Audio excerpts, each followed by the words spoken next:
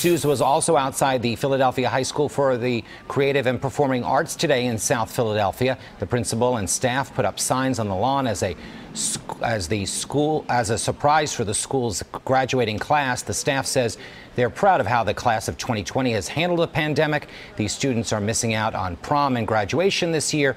Both will be done virtually.